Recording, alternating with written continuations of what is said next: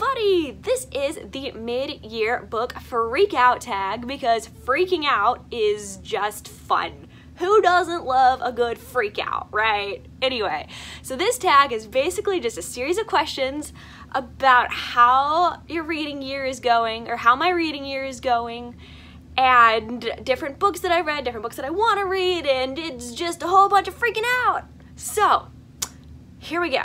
Question number one. What was the best book you have read so far in 2019?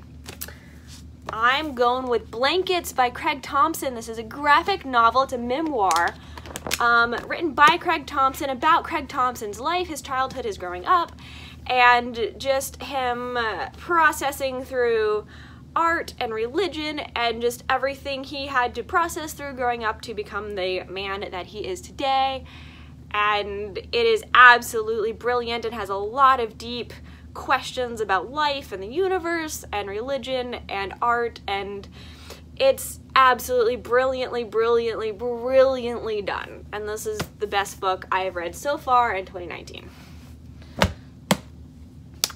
question number two. What is the best sequel you have read so far in 2019 I'm gonna be honest, I haven't liked the majority of the sequels that I've read in 2019. And when I think about the answer to this question, I keep thinking about sequels that sucked or sequels that I just didn't like. And I cannot think of one that I really, really, really liked. Because, I mean, I just kind of DNF'd Waking Gods, which is the sequel to Sleeping Giants. Um, I didn't really like Wundersmith that much, which is a sequel to Nevermoor. I don't know, like, just all the sequels that I'm thinking about, I haven't really liked. So I read, um, the long, the, I read The Long Way to a Small Angry Planet by Becky Chambers, and I am looking forward to reading A Close and Common Orbit, and I have a lot of hope for that one. I think I'm really gonna like it. I also, I read Leviathan Wakes, and I am looking forward to reading Caliban's War, and I'm hoping that I like this sequel. Um, but as a sequel that I like, but so far, so far I have not really read a sequel that was just like, wow, yet this year, unfortunately. Um, but I have hope. The year is only halfway over. We're not freaking out yet. I have lots of hope that there will be a sequel that I read in the second half of the year that I absolutely adore. What is a new release that you haven't read yet but want to? Okay, hey guys, Bloodwitch. I can't freaking wait to get to Bloodwitch. I'm so excited about Bloodwitch. Hopefully next month I'm gonna get to it. But um, yeah, Bloodwitch all the way for that. Question number four, what is your most anticipated release for the second half of the year? Okay. I'm honestly, I'm not gonna lie on this one because there are there are new books coming out that I am excited about. But you know what I'm really really excited about is the Muse of Nightmares paperback. I know Muse of Nightmares has already been released in hardback form, but I really want to buy it. But I want my book covers to match. And if I bought the hardcover, it wouldn't match my Strange the Dreamer paperback. So the paperback of Muse of Nightmares is coming out, I think in September. And I'm actually, that is the book that I'm the most excited about. I know, I know. But anyway, so the paperback version of Muse of Nightmares I'm super excited about. But I mean, I'm also excited about, I know um, Skyward Book 2, Starsight is coming out in November. I'm very excited, but I haven't actually gotten to Skyward yet, even though I want to. So I can't say I'm like super, super stoked about it. I'm not like dying for it because I obviously haven't read Skyward yet. I want to read it before November though, so that I can pick up Starsight. Also, I know The Toll um, is coming out in September, I think. Let me see. Yes.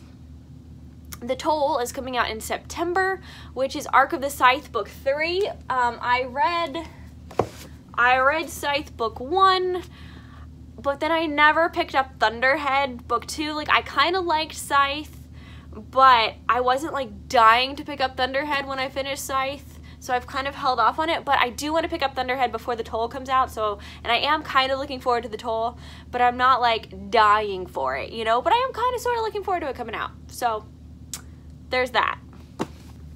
Question number five, I think. I think we're on five.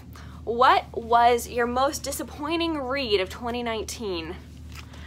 That is gonna be Invasion of the Tearling. I'm so sorry, guys. I know this is so beloved. It's the second book um, in the Queen of the Tearling. Queen of the Tearling is the first book. Invasion of the Tearling is the second book.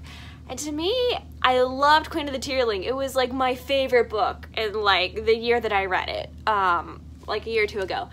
But ah, Invasion of the Tearling, it was really well written. It just didn't have the same feel to it that I loved in Queen of the Tearling. Um, there was just something about Queen of the Tearling and something about the characters and the way that they were written and just the simplicity of them and they were all book lovers and in a fantasy world and like I just I really connected with all the characters in the Queen of the Tearling and I absolutely loved it. And then Invasion of the Tearling kind of took the world to like a whole grand scope and we didn't like I didn't feel like we got that like one-on-one -on -one intimacy with the characters that we did in Queen of the Tearling and I didn't feel like I really, really got to know the characters and I didn't feel like, I don't know, like I just didn't, it didn't have that same warmth to me that Queen of the Tearling had. I was actually super disappointed. It was really, really well written though. It was a really good story. Um, nothing against the author. It was, it was super well written, really, really good book, but there was just something about the essence of the Queen of the Tearling that the Invasion of the Tearling didn't capture for me. So that was actually a super bummer. Um, what was your biggest surprise read of 2019? What is a book I think that you didn't think that you were gonna like or you weren't sure about and you ended up absolutely totally loving? And again, I'm gonna go with Sightwitch by Susan Dennard. Um, I had no idea what this book was about when I grabbed it. I just knew that it was kind of like a novella somewhere in the Witchlands series, or somewhere in the Witchlands series. So I grabbed it and I read it, and it turns out this was literally my favorite read so far this year, I think. And it's so short, and but it's um, Ryber, and it's her journal entries and I just connected with her so much through her journal entries and reading all of her journals and um, I just loved her as a character so much and I felt like she was my best friend and I seriously can't wait to pick up Bloodwitch now after reading Sightwitch. And question number six, seven, six? I don't know. I'm losing count. I'm sorry, guys. Whatever. Favorite new author? I'm gonna go with either probably Susan Dennard as a new favorite author. Um, I like Truthwitch when she she's writing the Witchland se series.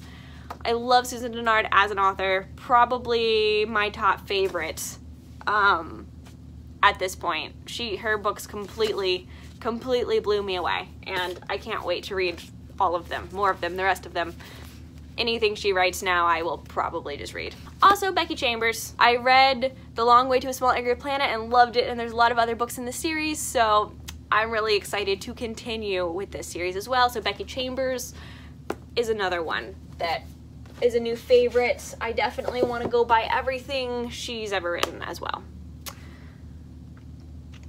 Newest fictional crush. I mean, Ryber. Ryber from Sightwitch. Newest favorite character. And for that, I'm going to go with Morgan from Nevermoor and Wundersmith. I love and Morgan from the Trials of uh, the Trials of Morgan Crow. Um, I think that's her right there in her little shocked expression right there. And uh, she's definitely my new favorite. Also, Magnificats. Magnificats are pretty freaking awesome. A book that made me cry. the Raven King by Maggie Stiefvater. I ugly sobbed at the end of this book. Uh, I scared the crap out of my husband when I finished this book. yeah, I just, I was a mess after the end of this book. It was so good. And I couldn't pick up another book for a week. I I I couldn't. I just couldn't do it. I just had to just just think and just just be and just be in those moments. at the end of this one because The Raven King.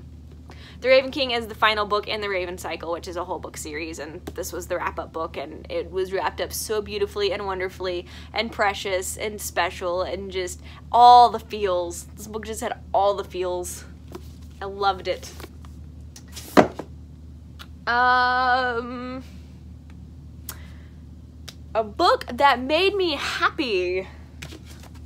Aurora Rising by Amie Kaufman and Jay Kristoff. This book is so much fun. It's full of space battles, it's science fiction, space stations and black markets, and pirates and space pirates, and superpowers and mind control and all kinds of fun science fiction action. Good characters, good plot, great world building.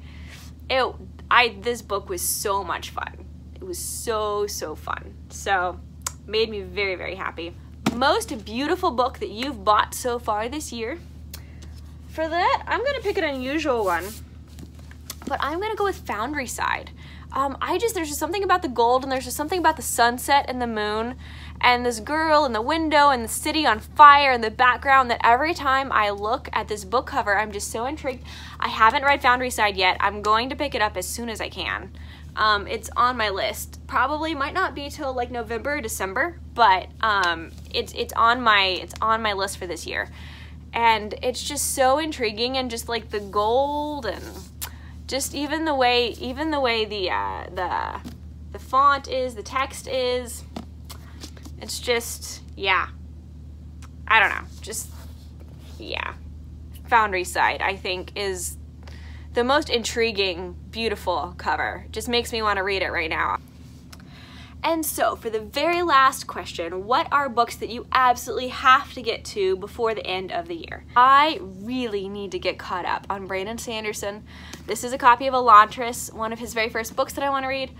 Also, Warbreaker, I have not gotten to. Um, I think I haven't been inspired to pick them up because I just got them, or I got this one like in an old used bookstore, and this one's also just like a mass market. And I kind of just wanted like the big, beautiful copy to read, you know? Um, like here, I'll, I'll show you pictures of the books that I imagined reading, and then these are the ones that I could find. And I was just kind of, I don't know, like I feel like if I had the big, beautiful copies, like I would I would read them a lot sooner and I would have been inspired to pick them up. But anyway, I just and Brandon Sanderson, he just writes so fast. He writes faster than I can read, for real. I need to get caught up on everything Brandon Sanderson, like everything. Especially like old stuff that like I haven't even started on the Stormlight archives yet. I haven't I haven't gotten anywhere near the Stormlight archives with a 10 foot pole. So, there's a lot of things that I need to catch up on. Also, I really, really want to read Red Sister and, and Holy Sister and Grey Sister and the whole sister, oh, the Book of the Ancestors. Um, the Book of the Ancestors, uh, is it a trilogy, cycle, series? The Book of the Ancestors series by Mark Lawrence. Um, again, I think I haven't been inspired to pick it up because the only one I could find was a mass market paperback, and I just, I don't like reading mass market paperbacks for some reason. I just, I don't like it. I like big and floppy, you know, um, or, or hardbacks. Like, I like, I like the bigger, floppier books, not necessarily little mass markets. They just, I don't know. I, I don't, I don't like reading mass markets. Um, they're about magical assassin nuns. I love assassin stories. I love magical assassin stories. I think I'm absolutely gonna love um, the Book of the Ancestors books trilogy. What is this? Is this a trilogy or is this a? I don't know. But hey, look, it's blurred by Tamora Pierce, so that's gotta mean something cool. Thank you so much for watching the mid-year book freakout tag. I love you guys. You're so beautiful. I appreciate you coming to my channel, and I will see you in the next video. Bye!